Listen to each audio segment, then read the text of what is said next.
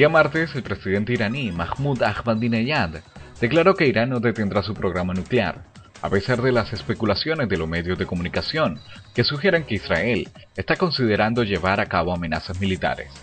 En sus declaraciones, el mandatario aconsejó a los Estados Unidos e Israel que detengan sus amenazas y les sugirió que sean conscientes de que su país no retrocederá ni un paso en su programa nuclear. Además agregó que cualquiera que actúe contra Irán lamentará gravemente un ataque militar.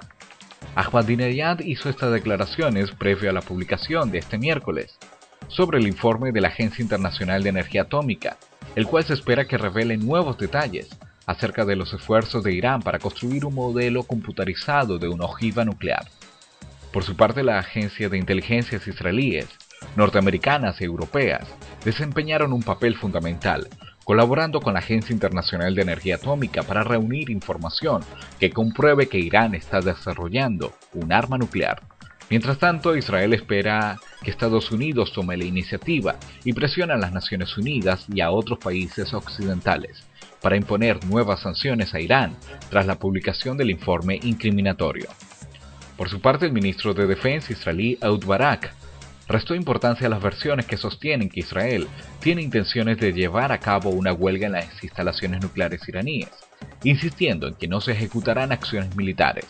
En contraparte, Barak también sostuvo que Israel debe prepararse para afrontar situaciones incómodas y, en última instancia, hacerse responsable por su propia seguridad, ya que todas las opciones para frenar las ambiciones nucleares de Irán deben permanecer abiertas.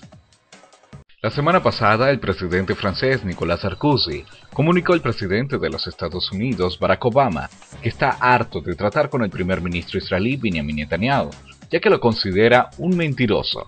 Sarkozy anunció su apreciación en respuesta a la solicitud de Obama de respaldar la petición palestina de ser un nuevo miembro de la UNESCO, en el marco de la cumbre del G20 en la ciudad francesa de Cannes.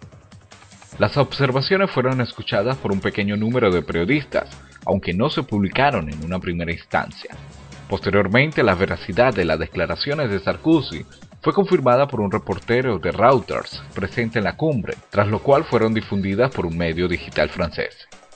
De acuerdo con la traducción de un intérprete presente en Cannes, Obama declaró que aunque Sarkozy está harto de Netanyahu, él debe hacerle frente regularmente según informaron las autoridades, es probable que Israel renueve su transferencia de fondos a la autoridad palestina, tras la decisión del Congreso de los Estados Unidos de descongelar unos 200 millones de dólares en asistencia para seguridad.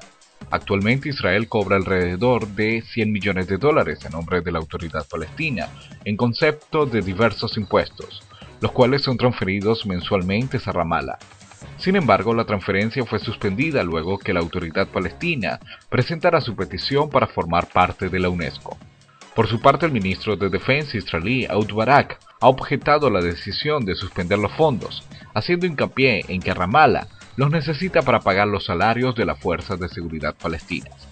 La colaboración de seguridad entre Israel y las fuerzas palestinas en Cisjordania es considerada un éxito, y según Barak, de vital importancia en la lucha contra los grupos terroristas de Cisjordania. El ex jefe de las Fuerzas de Defensa israelíes, Gabi Ashkenazi, ha sido nombrado presidente de la Junta de la Compañía de Exploración de Gas y Petróleo Yemen, según indicó la empresa en su informe emitido el día domingo. De acuerdo con los términos del acuerdo, Ashkenazi proporcionará asistencia y consultoría estratégica, participando activamente en la realización de la ronda de financiación de la empresa. Además, ayudará en la planificación estratégica de la compañía y estará encargado de la prospección de gas y petróleo, como también de generar nuevas oportunidades de negocios. Asimismo, el flamante presidente representará a la empresa frente a las autoridades y los inversionistas, todo dentro de un acuerdo de empleo del 75%. Cabe destacar que el contrato firmado por Ashkenazi tiene una vigencia de tres años e incluye un salario mensual de 27.500 dólares, con IVA incluido. Además, Ashkenazi será reembolsado completamente por los alquileres de automóviles, viáticos y otros gastos razonables en los que incurra para el desempeño de sus funciones, los cuales podrán ascender hasta los 2.750 dólares. Líderes filantrópicos de Estados Unidos se comprometieron a aportar 44 millones de dólares para la campaña inaugural anual de la Federación de Filántropos Judíos de Nueva York, estableciendo un nuevo récord.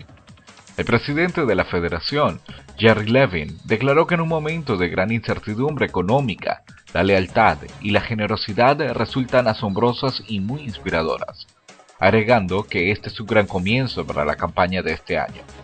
En sus declaraciones, Levin también agradeció a los donantes por brindar ayuda a su comunidad cuando ésta más lo necesitaba. Durante los últimos 25 años, la inauguración de la campaña ha reunido a importantes dirigentes que se preocupaban por los problemas y desafíos que enfrenta el pueblo judío, tanto en Nueva York e Israel como en el resto del mundo. En este cuarto de siglo, el evento de inauguración ha recaudado cerca de 719,4 millones de dólares, una suma que ha sido la piedra angular del trabajo de la Federación para hacer frente a temas económicos, educativos y comunitarios así como también a crisis humanitarias. Les habló Are Gustavo Calderón para Infolife TV.